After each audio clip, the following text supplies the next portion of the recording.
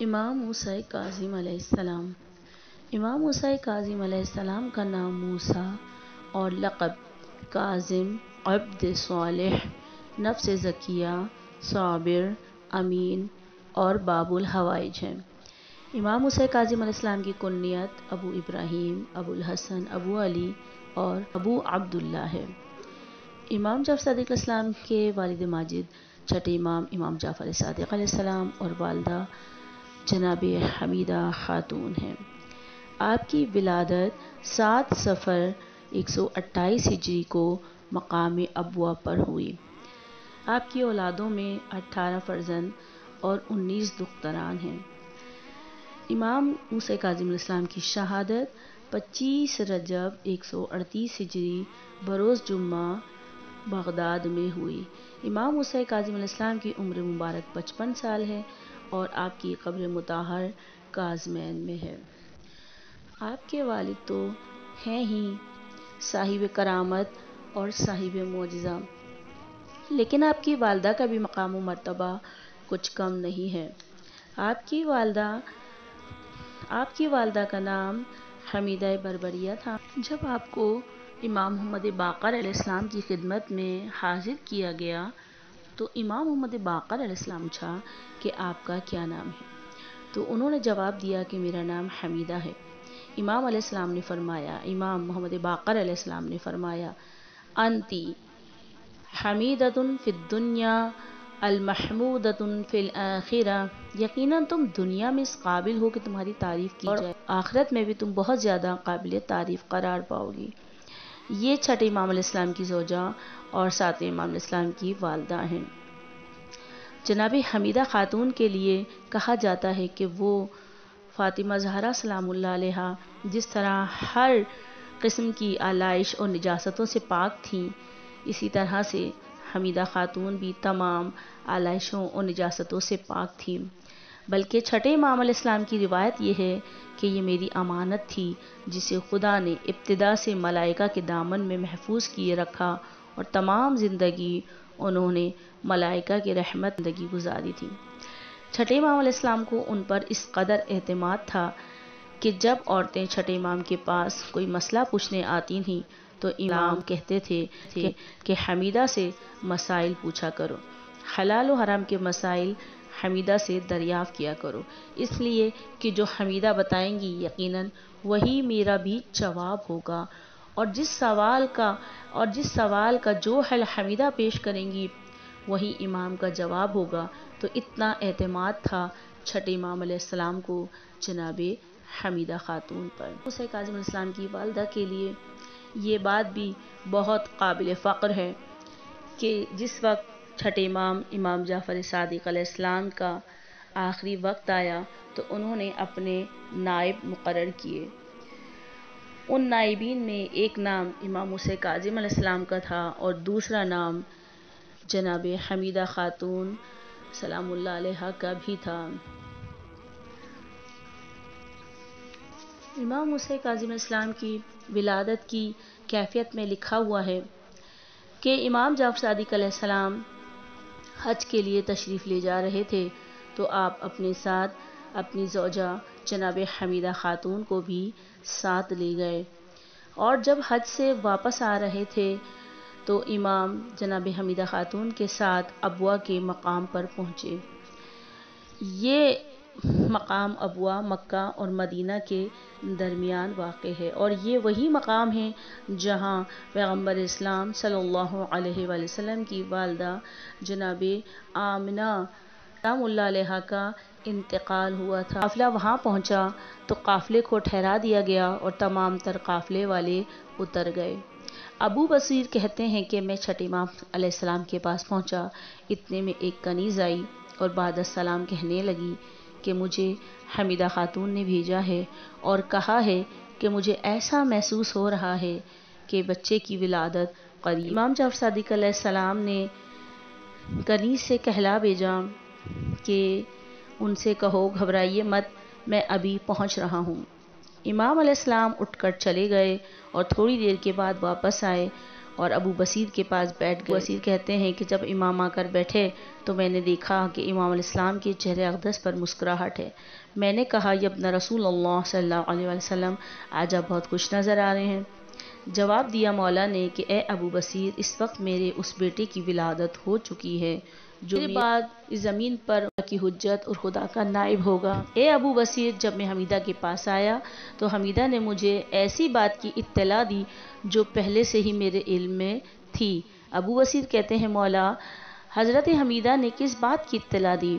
तो इमाम ने जवाब दिया हमीदा ने मुझे ये इत्तला दी कि बच्चे ने पैदा होते ही सबसे पहले ज़मीन पर हाथ टेके अपनी पेशानी को ज़मीन पर रख कर खुदा का शुक्र अदा किया। इसके बाद आसमान की तरफ़ निगाह की। सबसे पहले कल मैं तोहद पढ़ा, फिर अपने जद की रिसालत की गवाही दी। फिर अपने आबा अजदाद की इमामत की गवाही दी। इसके बाद अपनी इमामत का ज़िक्र किया।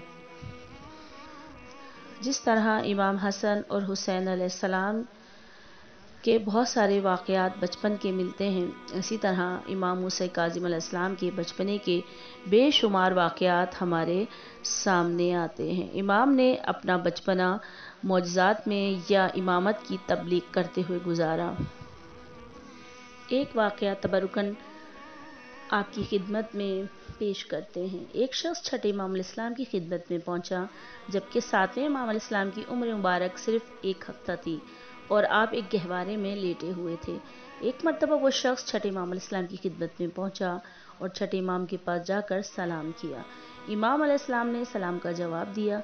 इमाम इस्लाम ने जब ये देखा कि अब वो शख्स सामने बैठ रहा है तो इमाम ने फरमाया, ए शख्स, तूने मुझे तो सलाम किया, लेकिन जो मेरे बाद इमाम है, अल्लाह की हुज्जत है, उसे सलाम नहीं किया।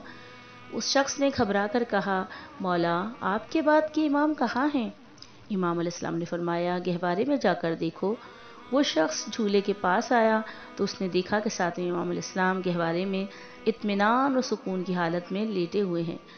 वो सातवें इमाम इस्लाम को सलाम करता है। सातवें इमाम इस्लाम सलाम का जवाब देते हैं, यूँ एक हफ़्ते का बच्चा गहवारे से अपनी इमामत को साबित कर रहा है। एक मरतबा सातवें इमाम इस्लाम ने इर्शाद फरमाया, ए शख्स, तू मेरे पास आकर मुझे सलाम तो कर रहा है, लेकिन तेरी एक बात मुझे इंतहाई नागवार लगी है, और वो ये है कि तेरे घर में एक बेटी हुई है, और तूने अपनी बेटी का नाम अच्छा नहीं रखा। क्या तुम्हें ख़ानदान अहल बैत में से कोई नाम नहीं मिला था? वो शख्स शर्मिंदा होकर पीछे आया और आने के बाद छठे इस्लाम से कहने लगा यबन रसूल अल्लाह एक हफ़्ते के बच्चे ने गहवारे में मौजूद सलाम का जवाब भी दिया। और ये भी जान लिया कि मेरी बेटी पैदा हो चुकी है। मैंने बेटी का नाम रखा है और वो नाम रखा जो कभी एक मुहब अहल बैत नहीं रख सकता। यबना रसूल अल्लाह इसका सबब क्या है? छठे इस्लाम मुस्कुराए और फरमाए गई रोना व कबीर रोना सिवा हमारे छोटे और बड़े सब बराबर होते हैं। जो मकाम बड़े का है, वही मकाम छोटे का है। रिवायत में है कि वो शख्स अपने घर जाता है और अपनी बेटी का नाम तब्दील कर देता है। अमूमन लोगों के जहनों में ये आता है कि सातवें इमाम इस्लाम ने सारी ज़िंदगी कैद खाने में गुजारी। हालाँकि ऐसा नहीं है। हमारे इस इमाम की उम्र मुबारक पचपन साल थी। इसमें से आखिरी के 19 साल कैद में गुजारे, जबकि इब्तदाई 36 साल तक इमाम मूसा काजिम ने इमामत के तहत मकसद इमामत को आगे बढ़ाया और हर हर मकाम पर वो बुनियादें कायम कर गए, जिनकी वजह से आठवें इमाम इस्लाम को एक मरतबा फिर दीन को नया रुख देने का मौका मिला। सातवें इमाम ने 36 साल तक इमाम जाफ सादिक की तरह उनके बनाए हुए मिशन को, उनकी बनाई हुई इस्लामी यूनिवर्सिटी को आगे बढ़ाया और दीन इस्लाम का सही मायनों में पैगाम आगे बढ़ाया और मिशन इमाम जाफ़र सदीक इस्लाम को पाए तकमील तक पहुँचाया। अबू तलहा शाफी लिखते हैं कि, कसरत इबादत की वजह से आप अब्दस वाले खुदा से हाजत तलब करने का ज़रिया होने की वजह से बाबुल हवाइज के नाम से जाने जाते हैं। बीस बरस तक इमाम हुसैन काजिम सलाम अपने वालिद के जेर तरबियत रहे। एक तरफ़ खुदा के दिए हुए फितरी कमाल के जौहर और दूसरी तरफ़ अपने वालिद की तरबियत, जिसने पैगंबर खुदा सल्लल्लाहु अलैहि वसल्लम के बताए हुए मकारिम अखलाक की याद को भूली हुई दुनिया में ऐसा ताज़ा कर दिया कि इन्हें एक तरह से अपना बना लिया।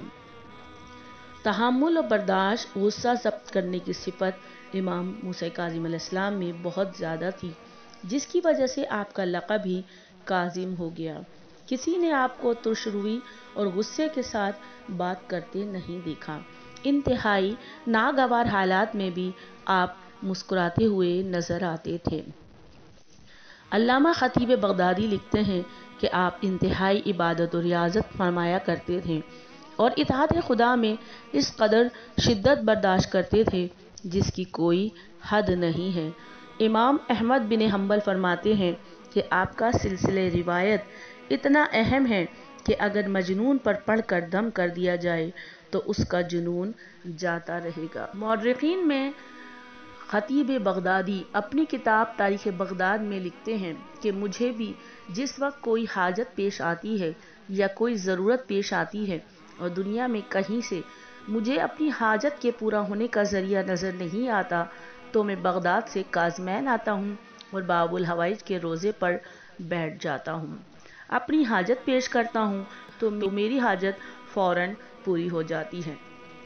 और उलमाए बैत ने कहा है कि बीमारियाँ ख़ास तौर पर जिस्मानी बीमारियाँ फिर जिस्मानी बीमारियों में, ख़ास तौर पर आँख की बीमारियों में, अगर कोई सातवें इमाम इस्लाम से तवसल करे और सातवें इमाम के हवाले से खुदा से दुआ मांगे तो जिस्मानी बीमारियों, ख़ास तौर पर आँख की बीमारियों के लिए सातवें इमाम का वसीला, सातवें इमाम का तवसल सातवें इमाम का हवाला इंसान की इन हाजत के पूरा होने के लिए इंतहाई मुफीद साबित होगा। इसके अलावा दूसरी चीज़ जिसके लिए इमाम मुसा काजिम इस्लाम की स्पेशलिटी है, वो ये है कि अगर कोई औलाद के हवाले से इमाम मुसा काजिम सलाम से दुआ करे, उनका तवसल करे, उनका हवाला दे, या उनके नाम से खुदा से हाजत तलब करे तो औलाद के हवाले से मांगी गई हर दुआ को परवरदिगार आलम अपनी दरगाह में कबूल कर लेता है। चाहे वो औलाद की बीमारी का मसला हो, औलाद के रोज़गार का मसला हो, औलाद के नाफरमान होने का मसला हो, या औलाद के बिगड़ने का मसला हो, या किसी भी हवाले से औलाद की कोई भी हाजत, दुआ हो तो खुदा वंद आलम, इमाम हुसैन काजिम के हवाले से औलाद के हक़ में की गई दुआओं को ज़रूर कबूल फरमाता है। रिवायत में है कि बीस शव्वाल एक सौ पिछहत्तर हिजरी की तारीख थी।